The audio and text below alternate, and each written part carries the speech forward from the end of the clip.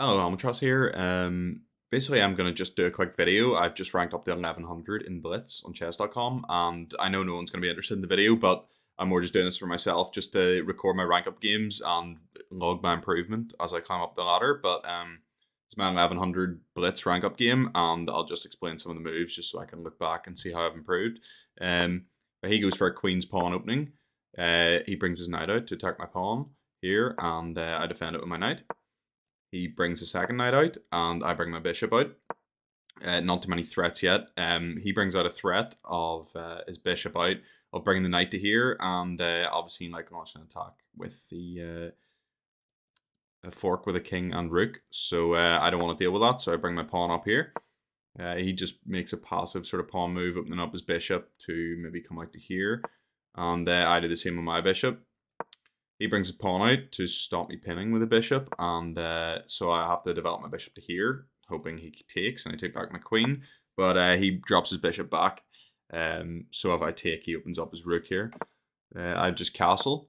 He he does the same here with his bishop, and I bring my bishop back.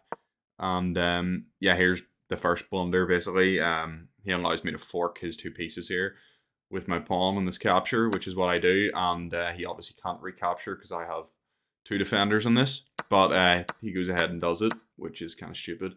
And uh, he brings his queen out, attack my bishop. But uh, I'm just going to go for trades from this point, um, just so I can get the material down. And um, I go for another trade here with his bishop because that's good now because we're up material. And uh, I actually didn't notice. I, I could have taken this pawn, but I was more just looking for trades over the board. So I go for a queen trade uh, but he doesn't want it.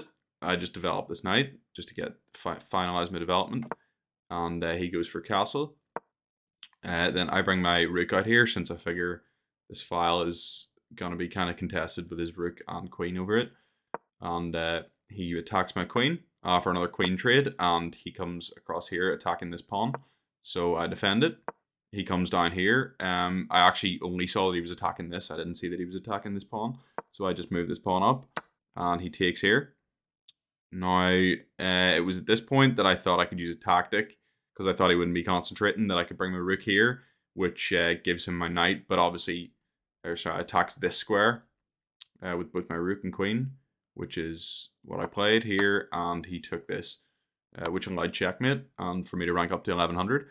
So uh, yeah, obviously uh, in this position he should have just played here to defend this, but as the engine says, you know I'm still way way ahead, so I should have won the game. Uh, so yeah, that's basically my rank up video, and uh, I'll see you in the next one when I reach 1200.